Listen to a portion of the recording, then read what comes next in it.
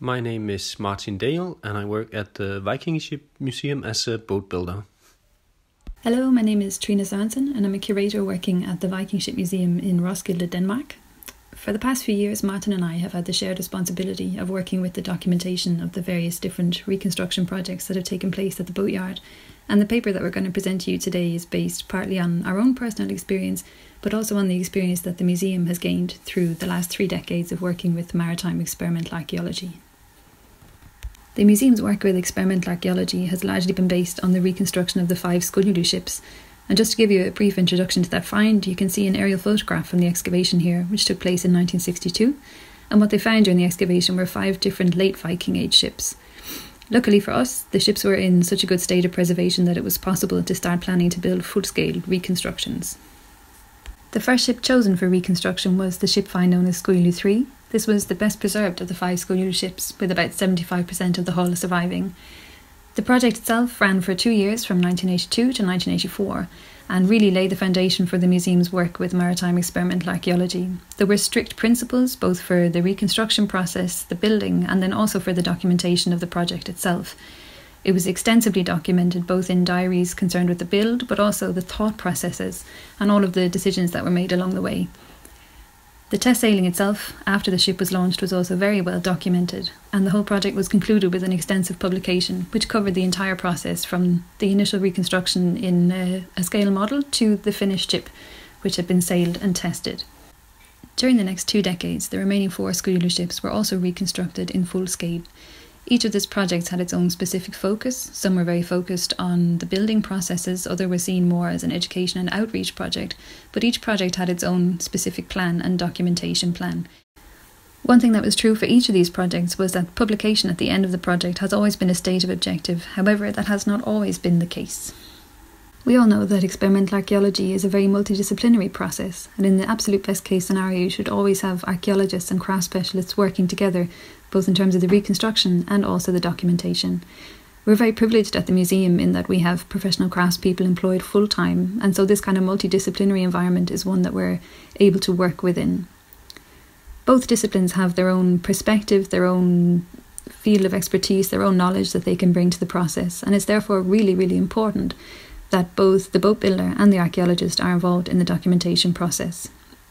Our paper is entitled Lessons Learned While Documenting Maritime Experimental Archaeology, and some of those lessons are some that we have experienced ourselves during the last five years of working together, but others are also just the museum's collective experience, things that we've learned as an institution while working with maritime experimental archaeology for the last three decades.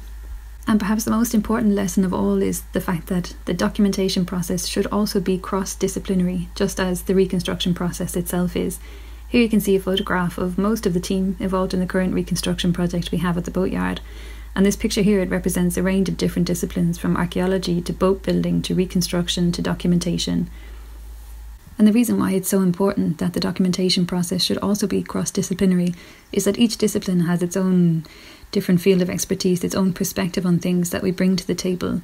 Things that I consider important as an archaeologist might be details that Martin would overlook as a boat builder, and vice versa. I might overlook specific details of the boat building process that are integral to understanding the project as a whole.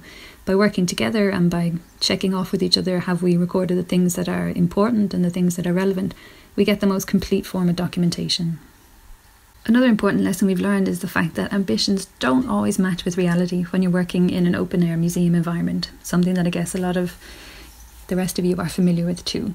Here you can see two different pictures from two building projects.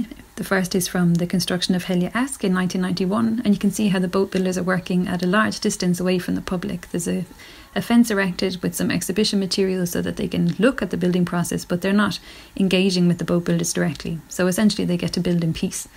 The picture you can see at the bottom is from 2015 when we built the Gislinge boat. Um, here it's a completely different scenario. As you can see, the guests are invited right up to the building site. They're literally standing in dialogue with the boat builders as they're working. And while this is a great experience for our guests, it gives them a chance to really experience the craft process and experimental archaeology up close. It creates a challenging work environment, um, both for the building but also for the documentation. Another point is that the documentation of the use of reconstructions is just as, if not more important than the documentation of their construction, is through the use of these reconstructions, be they ships, houses, whatever they are, that we gain the best insight into how they worked in the past, and so it's incredibly important that we continue to document after the initial construction phase is completed. Documentation of use is just as important as documentation of reconstructing. Uh, we have had, as you can see on the picture, we have uh, two boat builders on a raft repairing the Sea Stallion after a sail around the north part of Sealand. And the problem here is that the rigging is simply pulling the boat apart uh, underneath the waterline. And uh, when we have repaired uh, a, a, damage like this, we go back to the original found material to see what have they done. And we actually figured out that on part of the strengthening uh, bits around the mast area, they have extra nails in that we haven't. So it's always really important when you get damages like this to go back to the find material and see how did it actually look. There's some challenges with uh, different types of ways of documenting. Um, for example, you see a drawing here of a wooden tree nail. And when you have a drawing, you have a size and you have a shape but uh, there's a lot before that. I mean, first you have to go out in the forest to find the right piece of material. You have to chop it down at the right time of year. You have to cleave it out and store it for a while, and so on and so forth. So there's a lot of in betweens uh, that you don't really get if you don't know, and you can't get that out of drawing or text.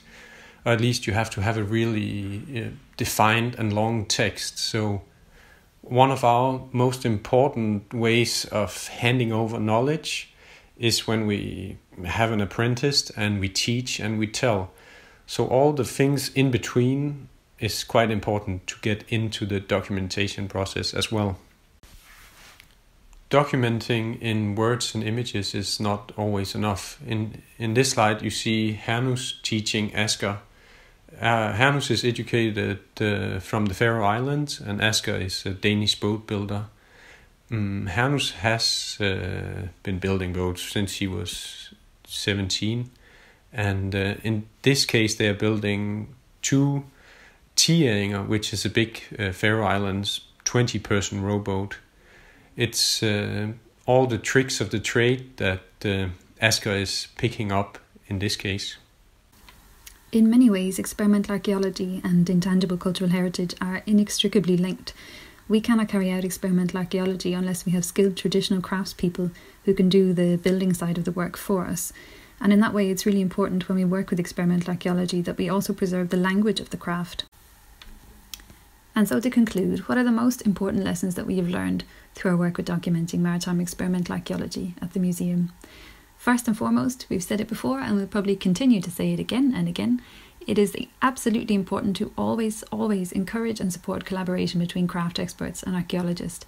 It's the absolutely best way for experimental archaeology to advance as a discipline and the best way to ensure that we build accurate reconstructions that we can extract useful data from.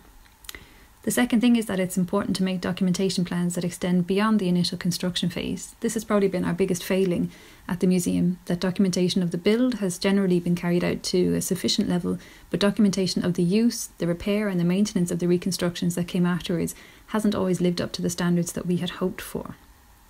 It's quite important uh, when you're working together as a team with academics and handworkers that you talk about what is important to document.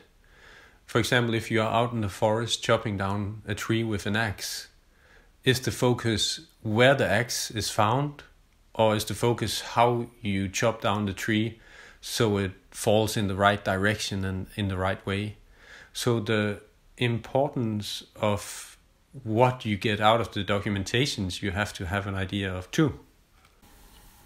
Another important point is to be realistic in setting goals for both the documentation and the publication. While the majority of our reconstruction projects at the museum are well documented and we have an incredibly extensive archive of text material, photo material, very few of our ships have actually been published in detail as a kind of concluded experimental archaeological project, and this is something that we're hoping to work on in the future.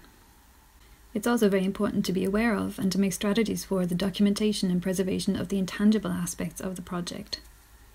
As a discipline, we're incredibly reliant upon traditional craft skills, and so we also have a duty to ensure that these skills can survive into the future. Finally, it's also important to learn from your mistakes. We, none of us are perfect, we're all doing the best that we can, but it's only through recognising and also telling others about the mistakes that we have made that the discipline can advance. Thank you to Roland and to all the team at EXARC, and we hope to see you all again soon.